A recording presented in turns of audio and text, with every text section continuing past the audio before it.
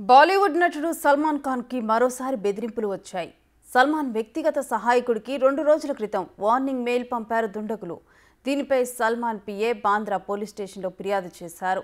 Gangster Lawrence Bishnoi సహాయకుడు గోల్దీబాయ్ alias Goldy Brar ఈ mails పంపినట్లుగా పోలీసులు గుర్తించారు.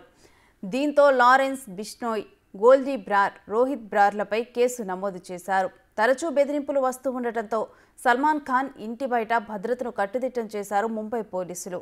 సల్మాన్ ఇంటి వద్ద ఎవరూ గుమ్మగూడకుండా చర్యలు చేపట్టారు.